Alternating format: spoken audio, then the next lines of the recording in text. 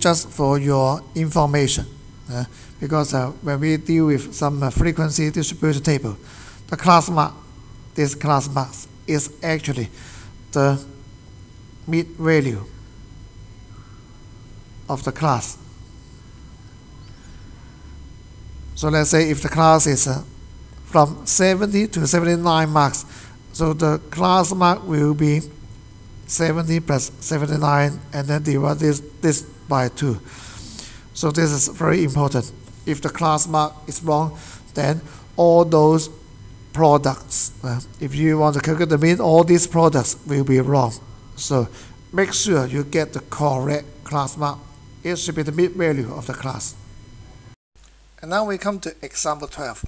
Joe will participate in a 4 meter race, 400 meter race. The following were the times in second in his last seven practice. So these are the data. Find the first, second, and third quarter, Q1, Q2, and Q3 of the data. So of course we have to arrange or sort the data in ascending order first. So we start with 44, and then uh, 45, 47, 48, 50, 51, and 53. And so we have Q2. Q2 is actually the median. That is the data at the middle.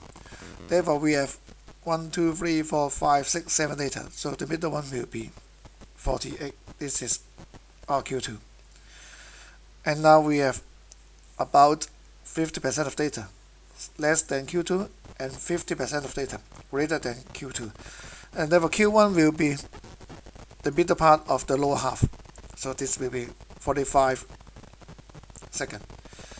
And Q3 is the middle value of the upper half, third quarter. So Q3 will be 51.